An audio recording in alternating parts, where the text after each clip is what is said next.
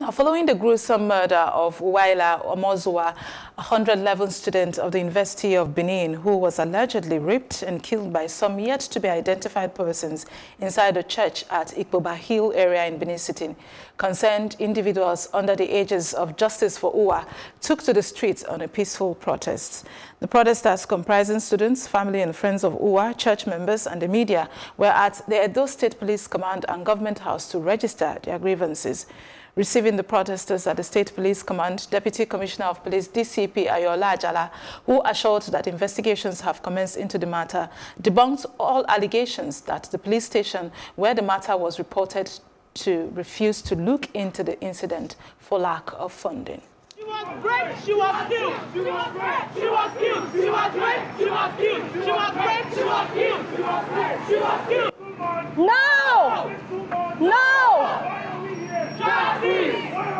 Justice! She was raped. She was killed. She was raped. She was killed. Why are we here? Justice! What is her name? Who are?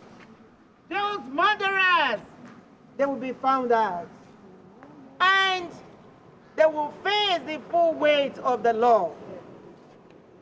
You will recall that we had an incident in Edo State where somebody put pepper into a young girl's uh, private organ.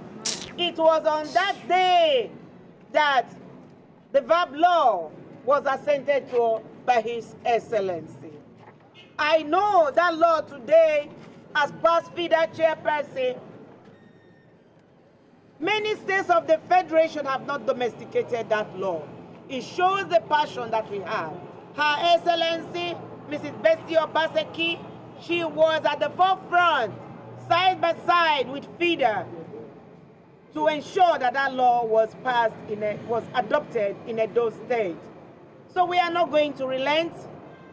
The family, Edo State government, they can do with the family.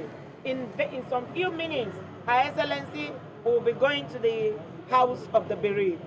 This morning, the Ministry of Social Development Agenda issue with the express authorization of His Excellency, we have already been to the house. The staff was already in the family house this morning. In a short while, Her Excellency will be visiting the parents of that child because Uwa is our daughter. Yes. And those people that have mother Uwa, they will not know peace. To weigh in on this matter, we have joining us the co-convener of that protest, who is also a journalist, Chioma Ifemeje, joining us from Benin. Good morning, Chioma. Good morning. Now, uh, investigation is already on, hence some would ask, what was the point of the protest?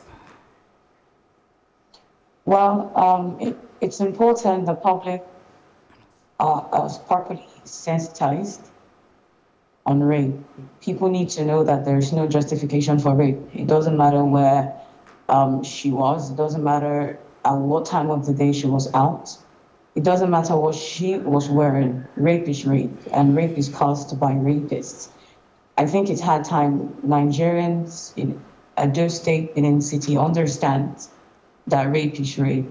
We had to protest in order to call for the speedy conviction of the criminals who beat, raped, and killed Uwa. Hence, we had to go out to protest for justice and also sensitize the public. I mean, everybody would agree that that was quite an unfortunate incident that happened. Now, we understand there were assurances from government officials during the protest that everything will be done to ensure justice. How reassured are you?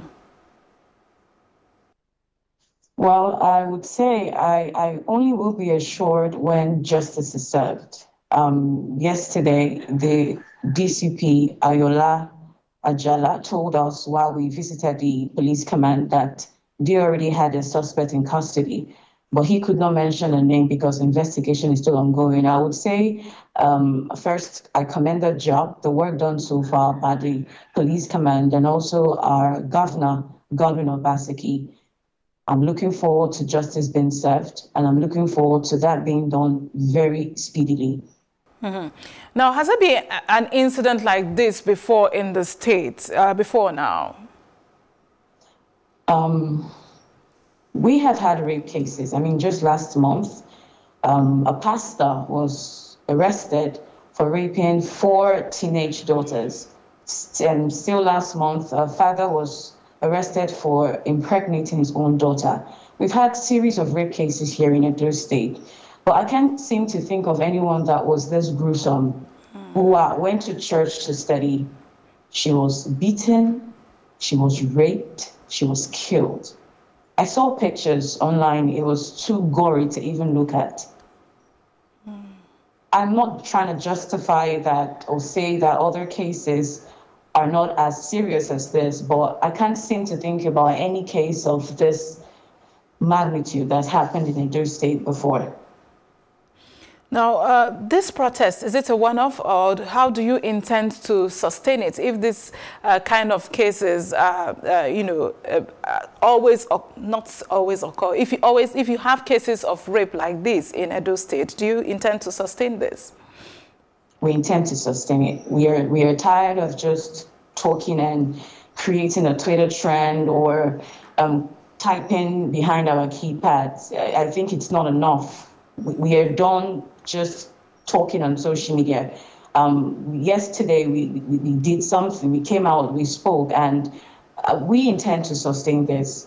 Um, my colleagues, uh, the, the, group of persons, my media colleagues, um, the lady, Amanda, who first took this up and decided that it's time we come out to talk. I must commend their effort. We intend to sustain this. We are looking forward to justice being served.